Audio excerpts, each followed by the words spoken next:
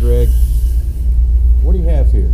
Uh, this is our Model D4 data acquisition conditioner. It's a simple, uh, very easy to use four channel static test instrument um, that allows you to connect uh, strain gauges or strain gauge based transducers uh, simply with an RJ45 connector. You can plug in quarter bridge, half bridge, full bridge circuits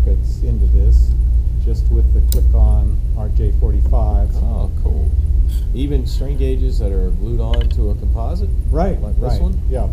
And it uh, is USB powered, so um, it has a connection on the back side that uh, connects directly to a computer, and your computer uh, software is included with it that runs this.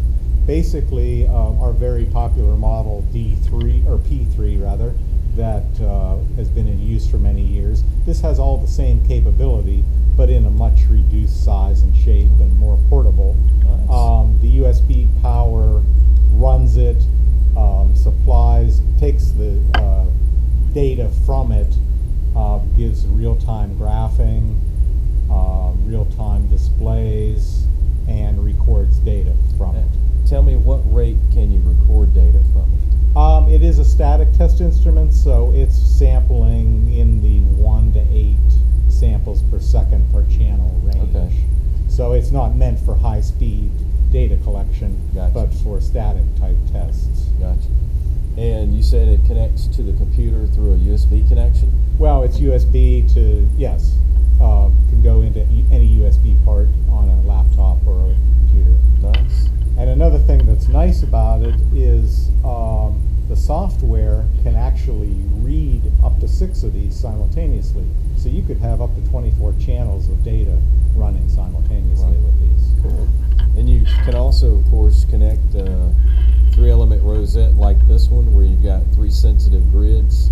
Plus one box you said has what? Uh, Four channels. Four channels. Yeah, so you can connect a rosette to it um, and read each of the elements separately. Um, it, it provides um, shunt calibration, bridge completion, all of the standard data acquisition instrument uh, So if I were using a rosette, what you're saying is I could use a 120 or 350 ohm or even a thousand. of or even a thousand ohm rosette Right. and connect it into that box. Mhm. Wow, Yeah. that's fantastic. So small size, probably what about the size of maybe a External hard drive. yeah, Yeah. yeah, small wireless routers. What I was thinking, it kind of reminds me of one of my wireless routers at home. Yep.